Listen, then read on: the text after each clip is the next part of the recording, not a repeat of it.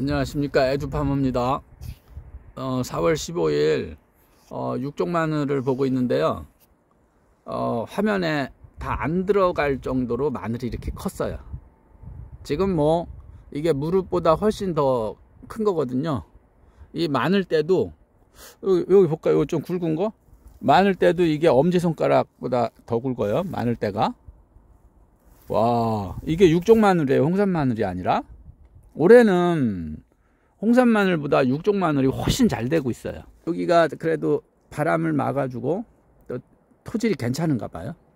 얘네들은 지난 가을에 싹이 올라올 때부터 달랐어요. 그래서 제가 뭐 굵게 될 놈은 뭐 다르다 이렇게 얘기를 했었는데 이게 뭐 마늘 이파리가 이거 보면은 이게 제 손가락 두 개, 두 개보다도 더 넓죠. 마늘 이파리가 이렇게 벌어진 게. 오 이렇게 크게 되고 있어요. 이 육종 마늘이 이렇게까지 잘 되는 거를 지금 처음 보고 있습니다. 처음 봐요 올해.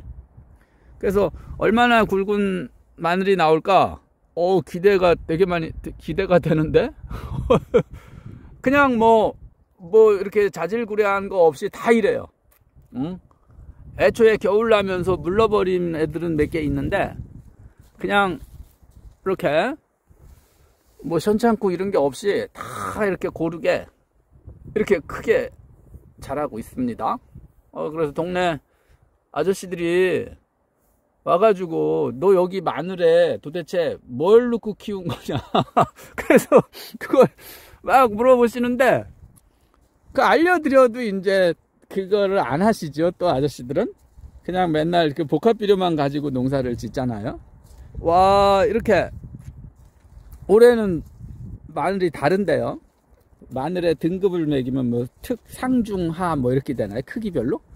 대부분이 여기서는 어, 특품 마늘이 나올 것 같아요. 특품. 특품. 그래가지고 어, 여기 한 30접쯤 나올래나? 육종 마늘이. 어, 작년에도 육종 마늘이 굵은 거는 막 그 이제 제가 양파하고 비교한 동영상도 있거든요. 이 육종 마늘이 홍산 마늘보다 더 굵게 나오는 경우가 많아요. 근데 올해는 그럴 것 같습니다. 왜 홍산 마늘 뭐 어, 알이 굵어서 종이컵 위에 이렇게 올려놓으면 뭐 안 들어간다 막 그런 거 있잖아요. 전 작년에 이 육종 마늘도 그런 애들이 되게 많이 나왔는데 이 밑에 있는 마늘들은 다 그 수준일 것 같습니다.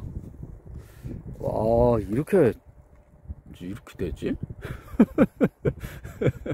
그래서 나중에 또 수학 때 이게 얼마나 클지 한번 동영상 올려 드릴 테니까 한번 시청해 시청하시기 바랍니다. 지금 뭐 이렇게 쭉 다다 이렇죠 고르게 에듀팜입니다.